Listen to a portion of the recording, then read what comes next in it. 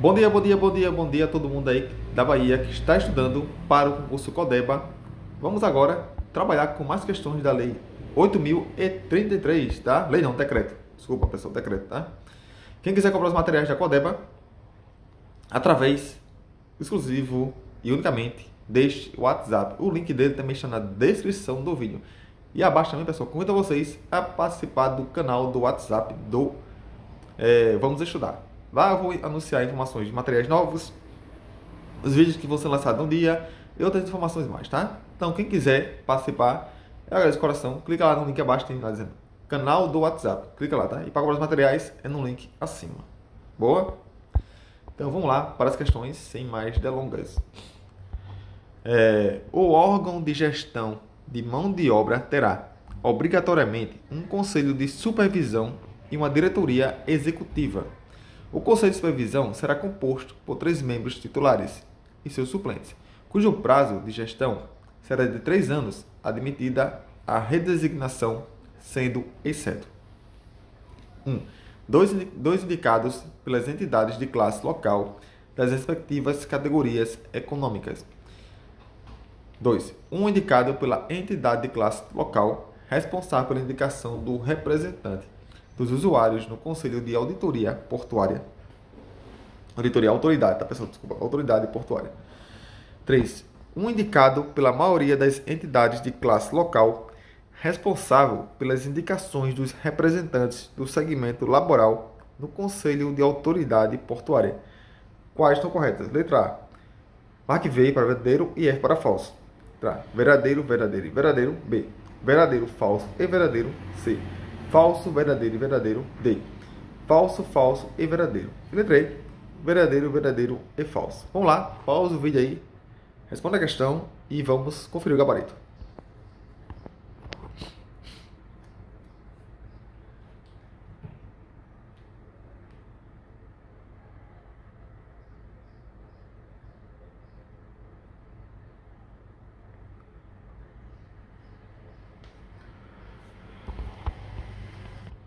Gabarito da questão 1, turma, está na letra C, ok? Letra C é o nosso gabarito.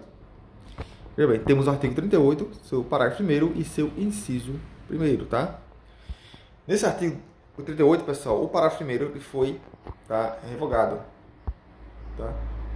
Beleza? Com a redação, né? Dada pelo decreto 9.048 de 2017. E no inciso 1 ele também foi revogado, ok?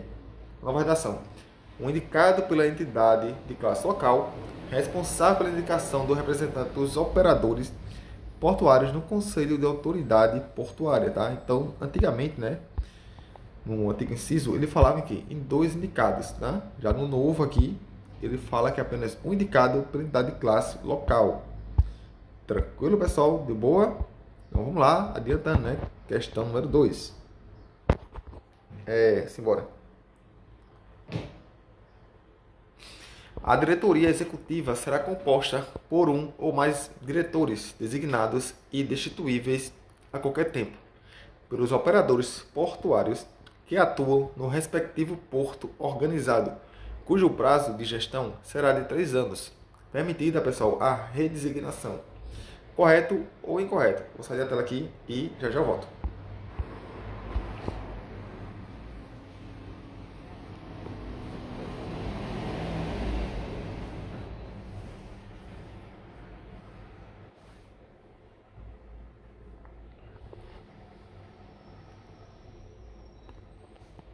Voltei, vamos lá marcar o nosso gabarito que está errado, certo?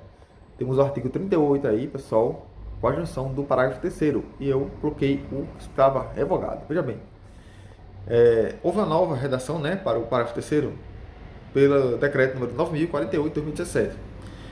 Artigo 38. O órgão de gestão de mão de obra terá obrigatoriamente um conselho de supervisão e uma diretoria executiva. O parágrafo 3 diz o quê?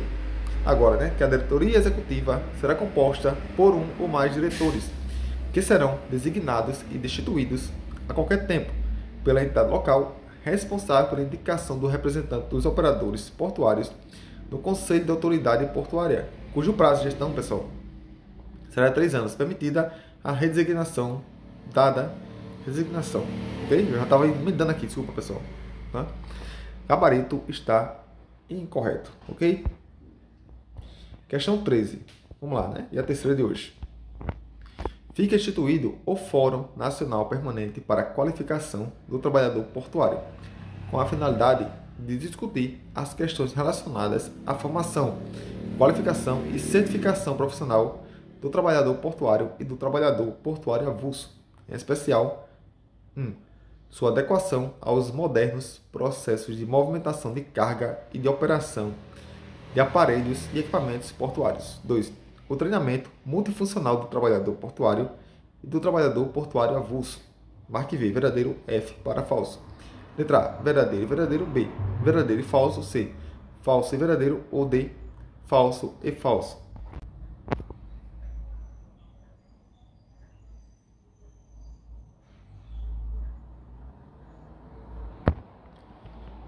Gabarito da questão 3 está na letra A. Todas estão verdadeiras. Okay? Temos artigo 39 na tela e seus dois incisos. Pessoal, vamos agora para a próxima questão. Tá bom? Integrarão o Fórum Nacional Permanente para a Qualificação do Trabalhador Portuário um representante de cada um dos seguintes órgãos e entidades, exceto. Letra A. Ministério do Trabalho e Emprego, que o coordenará. B. Ministério dos Transportes, Portos e Aviação Civil. C. Ministério do Planejamento, Desenvolvimento e Gestão. D. Ministério da Educação. E. Secretaria-Geral da Presidência da República qual item não faz parte aí deste fórum, tá? Letra A, B, C, D ou letra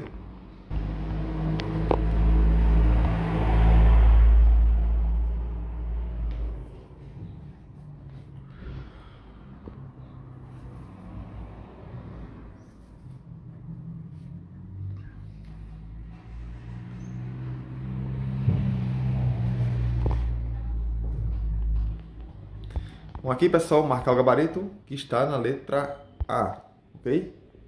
Bem, integrarão o Fórum Nacional Permanente para a Qualificação do Trabalhador Portuário, um, né? Um representante de cada um dos seguintes órgãos entidades. Ponto A, fala Ministério do Trabalho e Emprego, que o coordenará. Na verdade, Ministério do Trabalho, que o coordenará, tá, pessoal? Não existe mais esse negócio de Ministério do Trabalho e Emprego. Na redação, fala em quê? Ministério do Trabalho tá? o qual coordenará. Beleza? Questão bem tranquila aí, mais um erro desse pode fazer você perder um ponto, né? Muito importante na prova. Então, ficar aqui atento a cada detalhezinho para este concurso. A realização de investimentos não previstos nos contratos deverá ser precedida um, de comunicação ANTAC no caso das instalações portuárias autorizadas. 2. De análise da ANTAC e da aprovação pelo poder concedente no caso das concessões e arrendamentos. Quais estão corretas? Letra A, verdadeiro, verdadeiro. Oxi, marque V para verdadeiro e F para falso. Letra A, verdadeiro, verdadeiro, B, verdadeiro e falso, C, falso, verdadeiro ou D, falso e falso.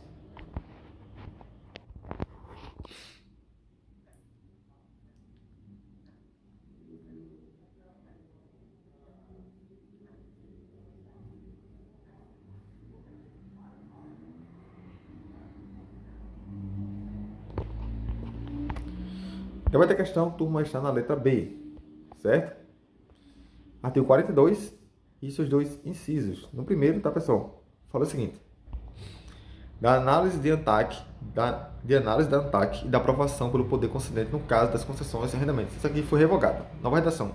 De aprovação do poder concedente, precedida da análise da ANTAC no caso das concessões e dos arrendamentos. Tá? Então agora é o seguinte. Ó da aprovação do poder concedente, certo?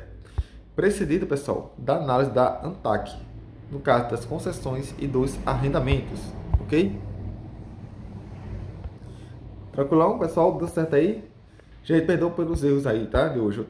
Eu tomei o antelético, eu tô um pouco meio sonolento aqui, tá? Talvez fico desorientado um pouquinho, mas vamos lá. Vai dar tudo certo. Então, gente, depois de amanhã eu trago mais vídeos pra vocês, ok? Então, fique com Deus, bons estudos e até o próximo vídeo, se Deus permitir. Tchau!